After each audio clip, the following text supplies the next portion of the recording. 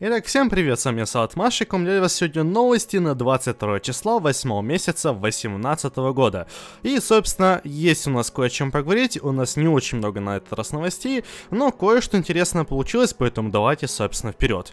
В первую очередь, это самое большое событие, которое у нас произошло за вчера, это статья из мастерской разраба пришло, прям как-то странно, только вчера, по-моему, вспоминал по поводу того, что обещали нам статьи, и тут бах, сразу новая статья.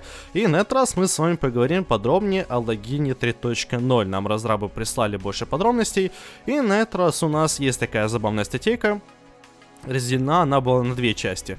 Первая касательно увеличения наград, вторая о цели, то есть награды, которые мы получаем за 50, 100 и так далее день.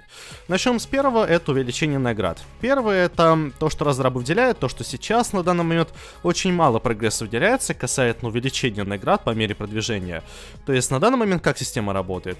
Когда у вас попадается условно энда, у вас есть шанс получить малую награду, то есть малое количество энда, и большую награду, то есть вы получаете больше энда, но по факту все равно получаете энда, просто есть определенный шанс, что получите либо маленькую награду, либо большую награду.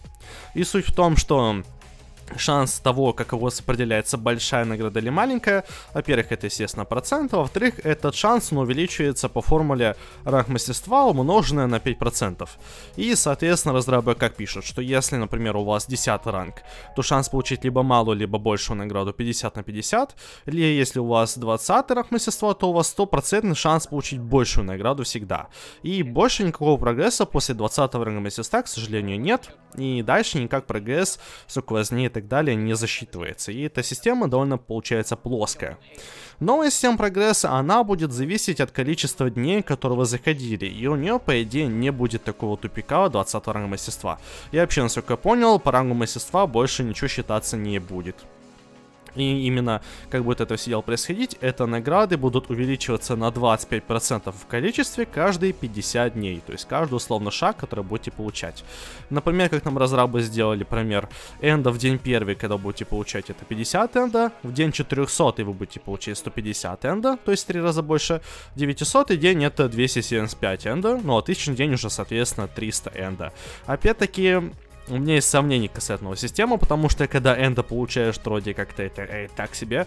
Плюс, когда 900 дней ты заходишь в игру, получаешь 275 энда, ты такой, боже мой, вот мне просто не хватало 275 энда. Но она странная система. Конечно, хорошо, что награды увеличиваются, то, что они не будут идти прям так в тупик, и бог знает, как там будет получаться на 3000 день, но все равно система получается какая-то такая себе. И мне не нравится то, что получаем эндов в таких количествах и так далее. Но кто знает, может быть кому-то и понравится. Касательно другой части статьи, это именно о тех целях. То есть награды за определенные дни, которые мы получаем, эти награды заранее на данный момент у нас подписаны. То есть мы идем на определенный день и получаем определенные вещи. Как, например, 300 день получаем Зенистар. Теперь же награды за цели будут распределены на три так называемые категории, либо же интервалы, называйте как хотите. Первый из них это дни сигилов и ресурсов. Это у нас будут дни 50 и потом через 100 дней 150 до 150 и так далее. Это день, когда мы сможем выбрать набор по типу сигил плюс форма плюс картошка. В эти дни можно будет выбрать любой подобный набор из уже, из уже существующих.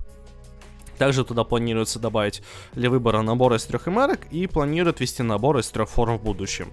То есть эти дни, когда у вас 50 и через каждый 100, вы будете выбирать такой набор. Дальше у нас называется набор прайм модов, то есть каждый дни, каждый 200 день, то есть 200, 400, 600 и так далее, вы сможете выбрать из любого прайм мода, который существует в игре, который дается за логин, вы получаете прайм моды. Вот так это все будет работать, то есть не надо будет заходить столько-то дней ради там ярости прайм или ми энергии прайм и так далее.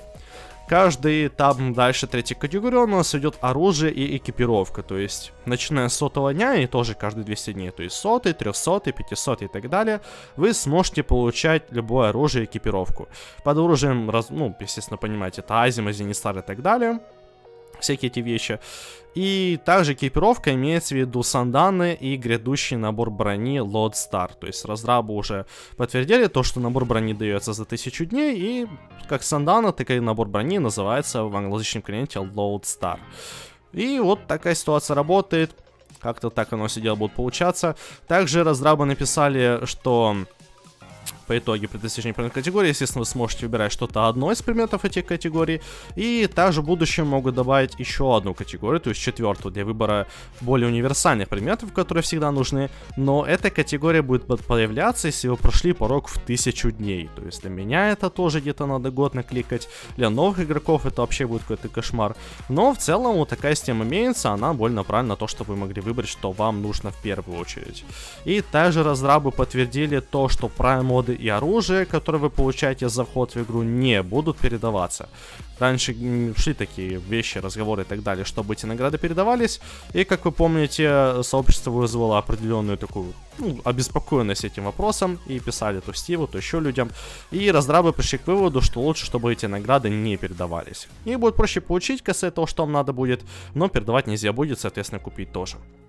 И в целом разрабы подчеркнули, что цель переделания всей системы наград за ежедневный вход в игру это добавление персонализации приоритетов для игроков и избавление от линейности прогресса, чтобы, например, заходите в игру и знаете, что там условно за тысячный день вам только дадут набор брони. Вот тут хоп, и вы получаете, например, за сотый день или за трехсотый день этот набор брони, который бы вы хотели.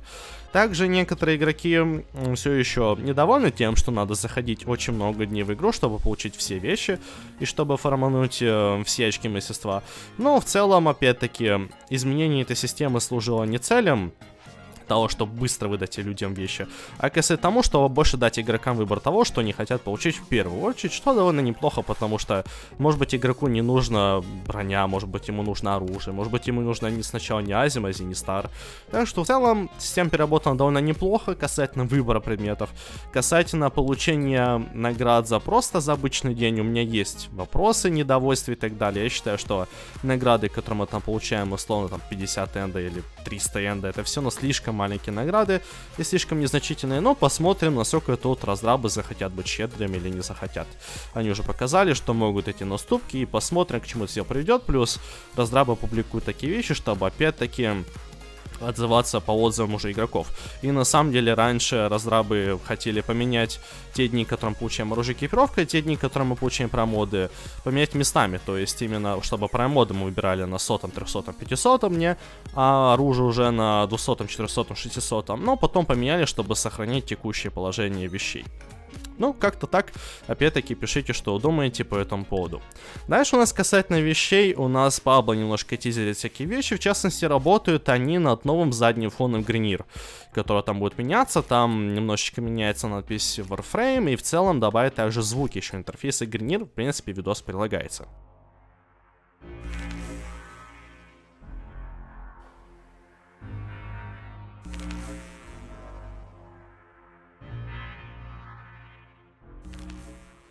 Ну а так-то в целом, опять-таки, разрабы пишут, что этот задний фон можно будет применять и на других темах. То есть, как я понял, задний фон и тема это, естественно, разные вещи. И также разрабы пишут, что другие задние фоны мы будем выпускать тоже, но несколько позже, хоть и медленно. Поэтому там ожидать мы, соответственно, можем всякие вещи типа корпуса и так далее. Было бы неплохо, кстати, прирочить тему корпуса вообще задний фон корпуса для выхода Фортуна, но опять-таки кто знает, успеет, не успеет, думать, не думают. И также мы получили подтверждение, что создавать свои пользовательские задние фоны, к сожалению, будет нельзя. В цели совместимости всех элементов. Как Пабло писал, надо немножко поработать им над каждой темой, каждым интерфейсом, каждым задним фоном, чтобы оно все работало между собой. И если вводить что-то свое, то, соответственно, это может не работать и так далее, поэтому здесь этого ожидать не придется, свои фоны мы создавать не сможем в игре. Также еще от Пабло мы узнали, что кое-что готовится для Дадзё, в частности для того, чтобы не приходилось финансировать каждую декорацию в отдельности, а более обобщенно, то есть на одну комнату, либо на все Дадзё. Но опять-таки это не находится в приоритете, поэтому скоро ждать не придется. И также Пабло еще написали, что Курия 5.3 не сканируется почему-то, хотя люди находят, но просканировать не могут. Поэтому кто у меня охотится за Курией, сообщу вам, что Пабло написал, что в грядущем патче переместят чуть другое место, поэтому будет она сканироваться, ее место не поменяется, просто она будет доступна для сканирования.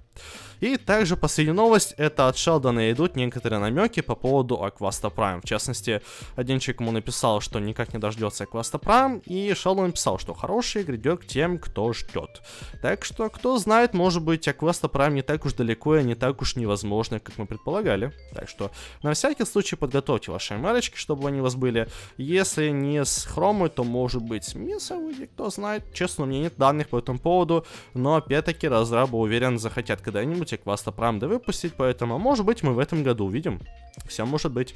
Но затем у меня уже все новости, пока что про Винату новостей нет там заглушено, опять-таки, может быть, сегодня-завтра это все дело выйдет, если не выйдет, может быть, хотя бы какие-то новости мы узнаем, потому что уже пора ODE, в принципе, стандарты дней, когда не выпускают обновление, это среда, четверг, и вряд ли не захотят выпустить обновление в пятницу, потому что лучше будет, если не помониторят это обновление на баги, на всякие такие вещи, но в любом случае мы с вами все еще в режиме ожидания обновления на этой неделе.